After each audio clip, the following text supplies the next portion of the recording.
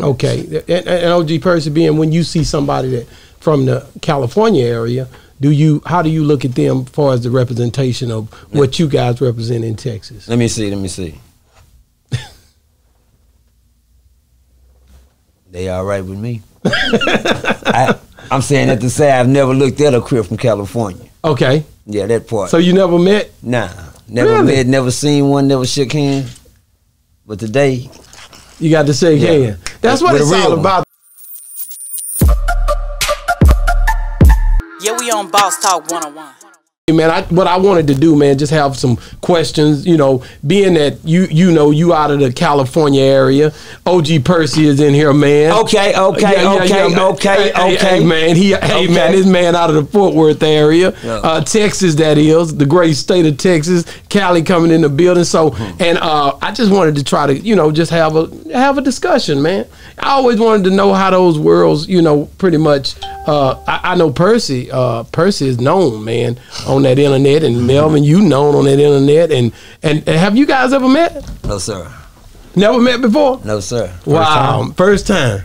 Man you know what? It's a so good feeling. Have but you i know y'all heard each other Yeah, Yes, we sir. conversated over the phone prior to when uh, Charleston was in uh, what uh, California back in the day. Uh, Jody and all them. I had sent Babalu down here when Mm-hmm. he had first came back. So I think we had chatted before, but I know uh, uh, I've always heard his name. His name, yeah. it's always brought up. dope man so you know because like like i say uh and i and i asked this question with a, gr- a different group of people but california i had california texas in here and i always be asked thinking in my mind like to be and, and melvin you know from from long time ago the the with, with being the crip from being in california and then someone being uh affiliated with Crip in Texas, how does I mean does that even does that merit the respect? Or do they even do they cuz my cousins from LA and when they would come down it wasn't really a thing to where they was like they come down I take them to Shreveport. They act like hey man you know they solidified and what we doing wasn't or whatever. So how do you look at that Well, uh, before we had expanded, when it was just uh, East Side and West Side Compton, before they had even left, let alone uh, the city from the zip codes, uh, it went through expansion, particularly when the drug came out. Drug game, game came out about '77, and they started floating.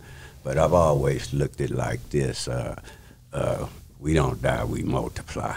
wow So when we started, that's when that saying started. And as you see today, the guys from my area, uh, the original our attitude where it's uh, you sign up for this. It wasn't a lot of ways you can get into it now. So I've always respected Crips or Bloods or somebody that's from this culture. And a lot of guys will tell you when they ask me something, I say, let them pick their bones. And so it's all a level playing field for me. I don't look at it as uh, one's a leader or nothing. When I come, I check in with these men, uh, just as you would a home. Uh, when you have a right to expectation, you don't come and knock at somebody's house unexpectedly. So, as far as me personally, I give everybody the same respect because I'm a seed. They are, are the roots of it. And so I look at them all as one big total family. You got to remember, I came in when we were united. Most of them come in where they come in divided, crip on crip, blood on blood. That's a different language to me. Okay, and, and OG Percy being when you see somebody that from the California area, do you how do you look at them as far as the representation of what you guys represent in Texas? Let me see. Let me see. they all right with me. I, I'm saying that to say I've never looked at a crip from California. Okay, Yeah, that part. so you never met? nah, never Really? met, never seen one, never shook hands.